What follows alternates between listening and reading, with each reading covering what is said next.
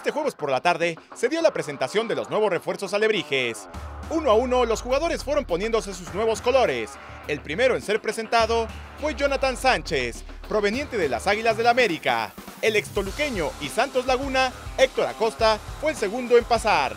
Pablo de Miranda, el argentino, llega a Oaxaca después de una lesión en la rodilla y se reporta listo con su director técnico.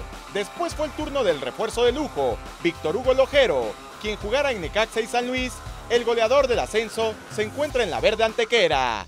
César de la Peña, proveniente de Veracruz, Mario Padilla, quien después de dos lesiones de rodilla regresará a la actividad con Alebrijes, y el delantero Emilio Sánchez, proveniente del América, gran prospecto del cual se esperan muchas cosas, fueron los últimos tres jugadores en ser presentados. El primero en hablar fue el Satanás Padilla, quien agradeció a la directiva por la paciencia que le tuvieron y trabajará para poner su granito de arena. Llegó el momento de escuchar al director técnico Flavio Davino, quien nos dijo, seguro no hay nada en la vida, y yo me comprometo a trabajar día a día buscando el ascenso. Davino agradeció a la directiva por el gran plantel con el que cuentan. Eso, para un técnico, es lo mejor que puede suceder, comentó el entrenador Alebrije.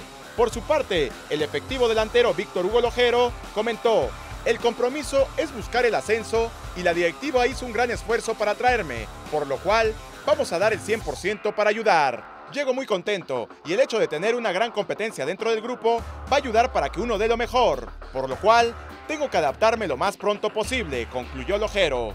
Por último, habló el presidente del club, Javier San Román, tocando primero el tema del Día del Aficionado. Se me había pasado el Día del Aficionado, y qué mejor que en el mes de enero después del gasto para que el aficionado venga al estadio y se conecte con el equipo, dijo San Román sobre el hecho de que para este primer juego como local, todas las localidades estarán a un peso. Sobre la permanencia del club dijo, esta está garantizada. El estadio Benito Juárez se entrega en febrero y el 15 de marzo nos estarán entregando el estadio del Tecnológico.